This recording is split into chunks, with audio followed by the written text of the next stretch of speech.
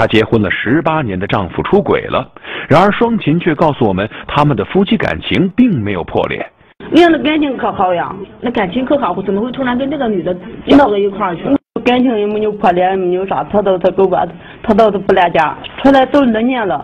你去找过他没有？就照顾他呀，照顾他怎么说？他怎么说？他光说来来，他倒是一直不来。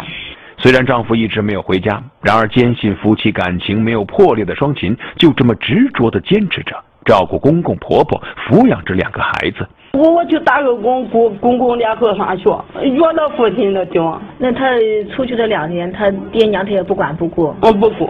俺婆婆是去年去世，她也没，她都没来，嗯，都没有回来。啊，我爸是白麦给他领着。他不是从小来了，嗯，他都大了来了。这那俺公公婆婆，他是养母养父。原来双琴的丈夫岳少武，竟然是被双琴的公公岳老先生收养的。岳老先生告诉我们，由于他和老伴只有两个女儿，没有儿子，受传统思想的束缚，经人介绍收养了当时已经二十二岁的岳少武。我听你儿媳妇说，她是说二十多岁的时候过来的。啊。她是怎么过来的呀？那会儿我没有说，这队长介绍了，那这吧也没有啥东西，本来这个大就给他下个户口户口是下到您户口是在这儿吗？啊，十七八年。十七八年了，给你养老送终的。啊。我听他说，他了，你老伴走的时候，他都没有没有没有到场。啊，没有了。他也怪狠心的呀，是不是？就这样一走了之了。那你送得起来有啥法？也带不出人，那你就指望他了，你指望不住他不来，你咋来？提起这个养子，岳老先生是满心的失望，周围的邻居更是为岳老先生感到不值。老杨你不是叫你给我养老送终了？老头再把有病了，他一时他都没有管他的事老婆躺着了，给你打电话，你说了，那我到河楼就回去了。我等他一夜也不来，要给他打电话，都当没那个枪就过来了。到第个枪他还不来，活了你不管，死了你还不管，你说这事让让养你弄啥呀？不管怎么说，人家生活了十几年了呀，哪能这样子？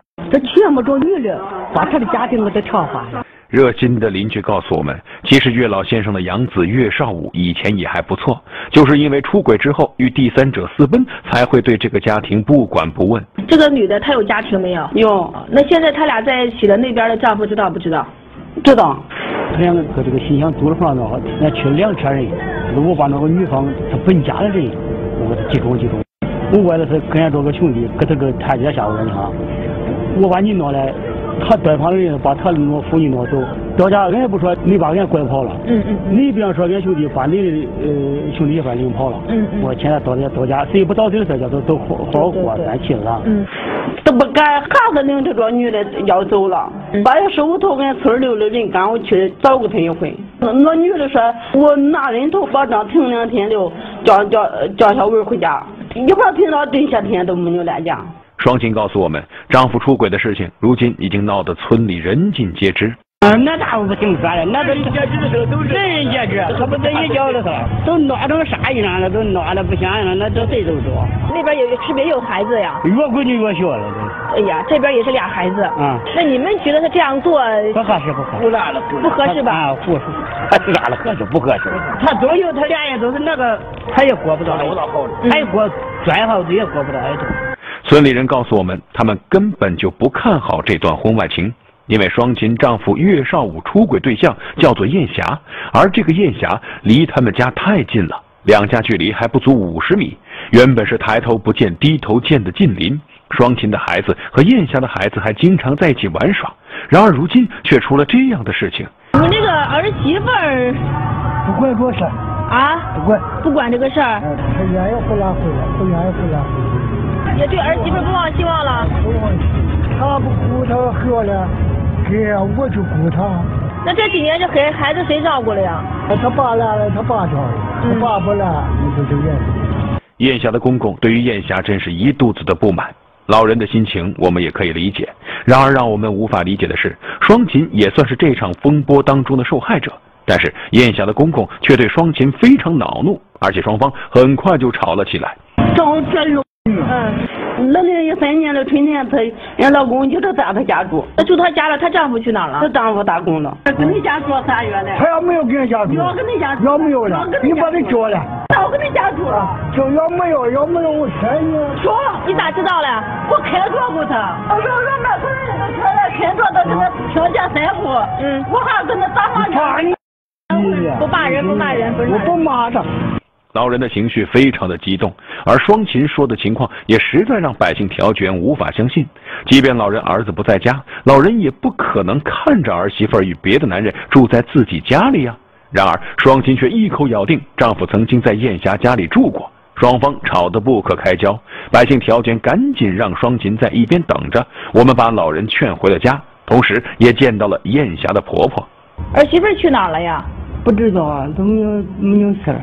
他没有来问我，这几两年也没有给你们打过电话问问孩子。没有。听咱村里人说是，您的儿媳妇跟她丈夫关系有点不正当。啊，真当老了管不出，都劝他他不听啊。我儿也管不出他。嗯。我儿是成年搁外头打工，主要是遇了这俩河，不是遇了这俩河了，早就跟他离婚了。啊。离婚了就离婚。不离婚了，你搁这过了这个，你要去找你去教你，不会去教。两位老人告诉我们，儿子现在是为了两个未成年的孩子，所以没有对于儿媳燕霞提出离婚，都是乡里乡亲。这件事儿，老两口其实也早就想有个了结，都是因为双琴的种种不理智的举动，才让事情一直拖到现在。我都跟他说好了，我说看。你的河也那么高了，我他的河也那么高，说说这都到底妥了。人家都人是不是？人家说说不是，来一回这样一回，来一回这样一回。我去过我人家，嗯，搁花圈，嗯嗯嗯，我我这人泼些，我这门口给人家堆堆堆那街对人的门口，这人人这小手给他叫麻了，叫麻了。你看这玩意，让我闹好。你儿媳妇不在家，她也这样做吗？呃，没在家不在家也这样做。你这不是故意气你们老两口要不说要我就想打他。提起双琴的种种举动，老两口的情绪都非常激动。百姓调解也觉得双琴的做法有些不妥。应该跟他家人统一战线的，但是你不管人女的在家也好，不在家也好，你看你做这些行为，跟人家倒垃圾的，跟人家发放花圈的，又是骂人家的，你闹人家老两口也没法正常生活了呀！人家这现在恨你恨之入骨了。他俩家了，他不叫人家老公来家，我我我听话不听话？我不就找他了噻？嗯，他说二十五你那骂了整整一天。我找他呀！你闹完了不啥照样到一起，有啥用呀？你跟他这两家的关系搞好一点，让你们两个两家联起手来，把这把你丈夫跟他的媳妇弄回来，把俩分开，然后各回各家，好好的过日子，这才行。虽然双亲的做法确实不理智，然而对于双亲的遭遇，调解员也是十分的同情。我们希望燕霞的公公婆婆也能够放一放心中的成见。她骂她是因为觉得她跟她丈夫可能是关系不正当，可能切不过，因为她呢，她她的家庭也散了，所以说有点呃有点情绪压不住啊，她这样做肯定是不对的，但是呢也情有可原。我们今天过来呢，也是想着看看找找你儿子，看看你儿子能不能跟我们一起去一趟去郑州，找找这两个人，把他两个人劝回来，好好过。不对，对不对？让那个男的也回家好好过，让你家的儿媳妇也回来好好的照顾孩子。嗯嗯。这样的话，老您两口老两口的负担也轻一点，要不然的话，这么大年纪了还要帮他照顾孩子。就是。是不是啊？有有儿子的电话没有？我也没有，我也不会打电话，都没有。啊，他都没有给你留个电话号码？没有。老两口无法联系上自己的儿子，也不清楚儿子工作的地方在哪儿，我们只能无奈的离开他们家。下一步肯定要想办法找到双琴的丈夫和他的女友。那么茫茫人海，我们该往哪里去找呢？茫茫人海，寻人举动何去何从？他不是说前一个星期还在厂里面见过他吗？啊！费尽周折，多方寻找，是否会有结果？我们过来找个人，就是原来那个租房啊，你好，百姓调解的。去而复返，一片痴心，能否得到回应？原来跟你可好，你放不下他。嗯。百姓调解，爱上一个不回家的人，正在为您讲述。上期节目当中，其求助人双琴告诉我们，她结婚了十八年的丈夫跟自己邻居的媳妇儿私奔已经有两年多时间了，不仅不管养父母，也不管自己的两个孩子。由于双琴曾经做过一些不理智的举动，所以邻居对于双琴很有意见。在解开了他们心结之后，双琴带领着百姓调解员去寻找她的丈夫。行驶了一个半小时之后，我们来到了郑州西郊的一家工厂门口。双琴告诉我们，丈夫和他女友都在这家工厂里面打工。在与看门师傅协商之后，双琴的亲戚得以进入工厂里面找人。然而二十分钟之后，我们得到的却并不是好消息。呃，现在这工开除了，有有十来天了，不都不叫他给他干了。那个女的呢？都走了，他都走了。都走了。啊。走了十几天了。啊。他不是说前一个星期还在厂里面见过他吗？啊，前有五天，我我还给到相关大叔打电话，我说一个男的，一个女的还搁那呢，搁那呢。你这样子，我跟你说，你你不是说昨天晚上在他住那见到了吗？那我都现在去。咱现在是他住的地方。就在我们去调解的前一天晚上，双琴还曾经跑到丈夫租房子的地方查看，确认里面还有灯光。那么白天出租屋里有没有人呢？你是咋找到这儿的？哎呀，他跑的这就多了，因为他回家。就在这里面，这里面有人呢。哎，你谈多了？啊？那得几天了？几十五天了吧？啊，你是刚搬过来的是吧？搬过来多少天了呀？搬四五天了吧？四五天了。出租屋里确实有人，然而却不是双琴的丈夫。此时，双琴又看到了一旁的房客。原来在这住那个那个男的，你认识不认识？那边的他不回家了吗？他回家，那他，哎呦，那他这回回哪的话，回到老家走。走了，电车也装走。电车也装走了。嗯。啥时候装走了？嗯，回三四天了。你回老家了，回濮阳了。我我没见，我见到他，我见着有你那有灯啊。啊，你没有确定的到底是谁在里面？嗯嗯。你以为是他？嗯。工厂找不到人，租房的地方又换了人，寻找丈夫的双琴顿时有些绝望了。然而，百姓调权却并不愿意就此放弃。几经周折，我们联系上了出租屋的房东，希望能从他那里得到一些有用的信息。是你的房吧？是不是？没事儿，我们过来找个人，就是原来那个租房啊。你好，百姓调解的啊。不过你打这个人叫什么？他有两个身份证，一个叫邵武，一个张运红。张运红是不是原来租着你的房子？四五天之前说退房了，就在那个小房子里。退了。退完了。嗯。他是跟那个女的在这一起住。啊，有个女的，两人都走了，两人都走了。你这不是要租房了，签协议了啥了？有没有留他的电话？是这我留了吗？啊，我也不注意的，我留电话没你看看有没有？有没有？有的话帮我们找找。在我们劝说之下，房东热心的帮我们寻找双琴的丈夫之前留下的租房信息。我们终于得到了双琴丈夫的电话。嗯，他不接。你给换一桌号，是不是都不需要？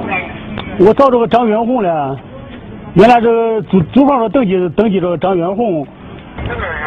那为啥租？小名小小伟。啊，不认识，不认识，你可能打错。那那你的电话号码为啥还登记到这上嘞？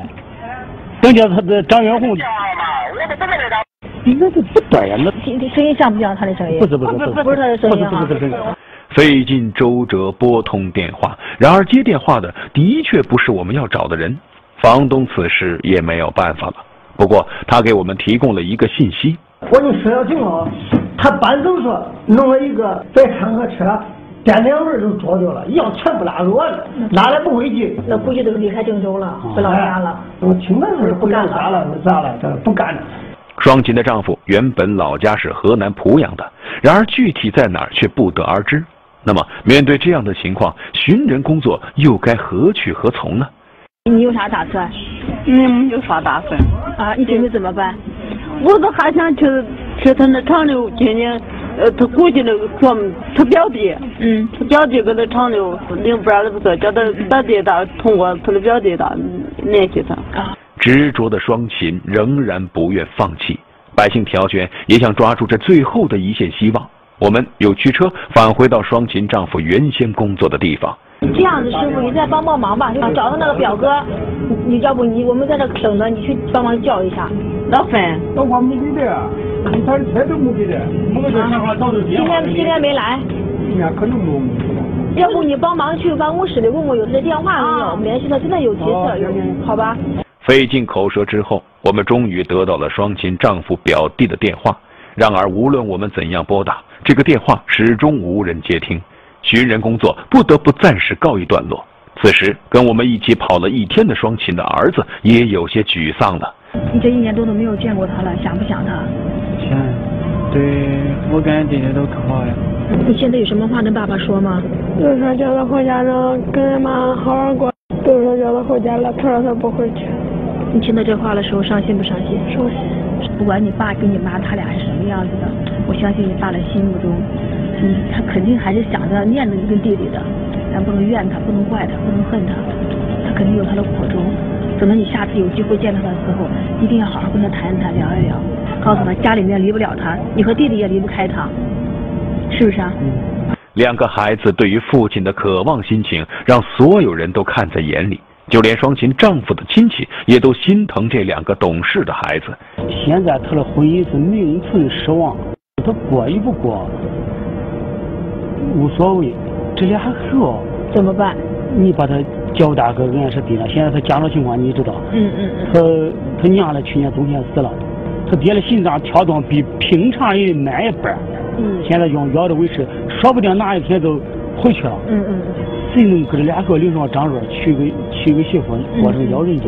只是做媳妇不走，领上俩个搁这搁这上好好过。嗯嗯。我说当们说准备后要是能寻个媳妇了，我说咱家这姊妹家、跟俺家都有，咱就得接去。对对。叫他把这事儿过来。啊。先把手帮帮他，帮帮他把俩孩子养大了啊，帮他度过这个难关。我的心思是希望叫他过成要人家。亲戚的一片心意，双琴也明白。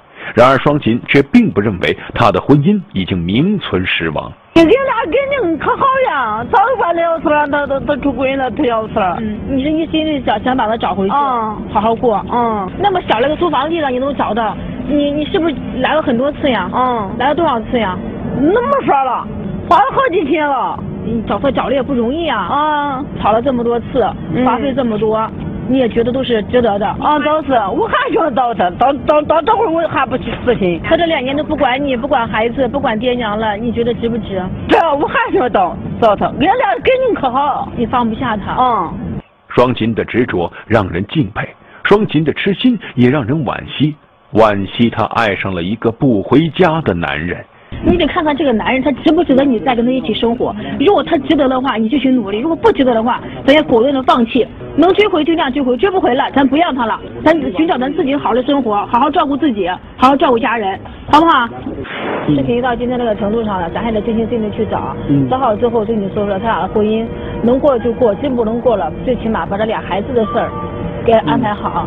他这个躲到天涯海角去，这个孩子也是他的孩子，他也得管。在回去的路上，调解员的心里并不平静。我们希望双琴的丈夫在看到节目之后，能够主动出面。给双琴一个交代，给两个孩子一个交代，给自己的养父一个交代，承担起自己应该承担的责任和义务。